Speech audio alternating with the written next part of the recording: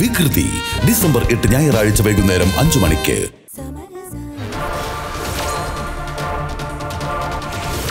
സ്വന്തം ബന്ധങ്ങൾ നിലനിർത്താൻ ചിലപ്പോൾ മുഖം നോക്കാതെ ഇടപെടേണ്ടി വരും.